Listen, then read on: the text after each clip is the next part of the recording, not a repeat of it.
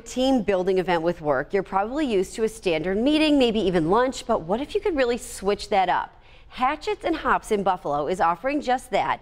They want you to bond with your friends and your coworkers, even your family, by throwing axes. How does that sound? 7 Eyewitness News reporter Twila Nugent at Hatchets and Hops showing us how it's done this morning.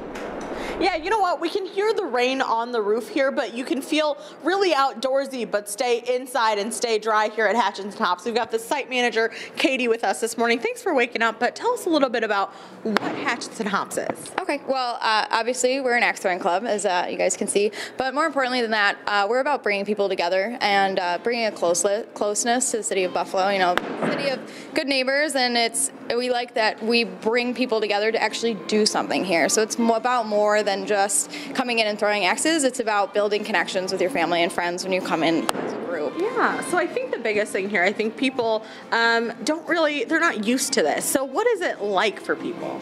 Uh, so when people come in, they're definitely a little taken aback. They're like, um, I think I'm here to throw axes.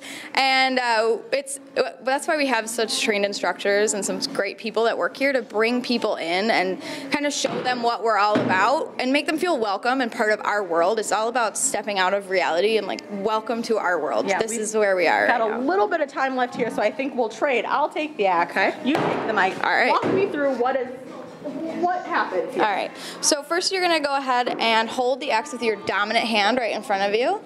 Perfect. And then wrap your non-dominant hand around. Beautiful. Stagger your feet uh -huh. and then shift your weight back as you bring the axe over your head. Good. Shift forward, release, follow through. Oh, Beautiful. It's Not bad.